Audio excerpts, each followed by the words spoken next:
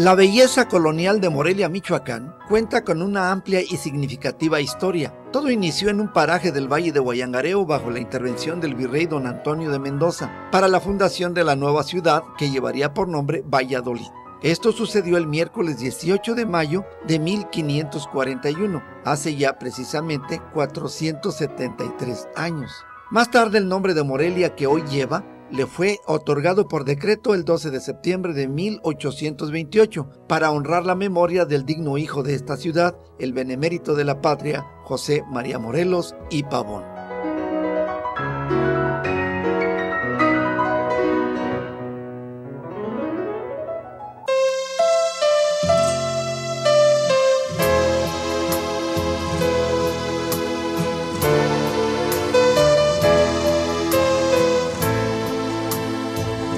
Como páginas de un libro conteniendo días de gloria.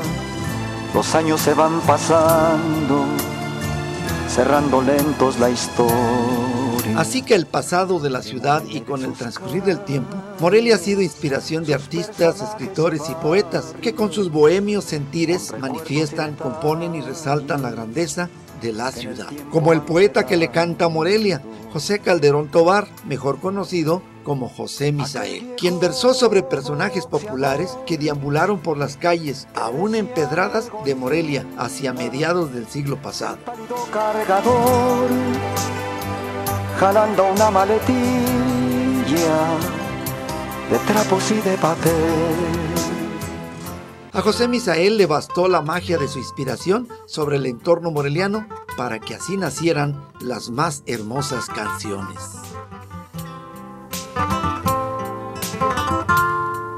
Morelia de mis amores, pronto tengo que partir.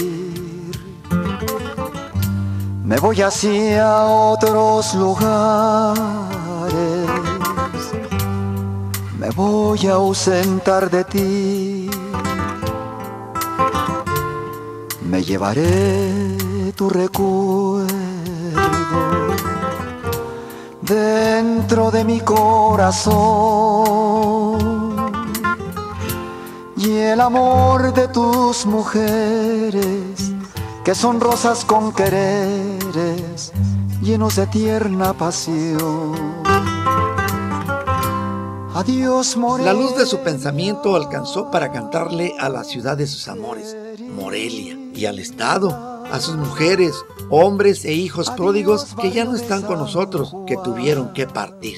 La obra musical del artista José Misael es un legado invaluable que quedará por siempre como referencia sobre las crónicas y versos de la vida de los morelianos y su ciudad, con canciones como Morelia de mis recuerdos, Adiós a Morelia, Morelia Señorial, Feria de Morelia, Morelia Dormida, Morelia Mi Bella Ciudad y Morelia 18 de Mayo, entre otras. Felicidades, Morelia. El destino en el fin de mi camino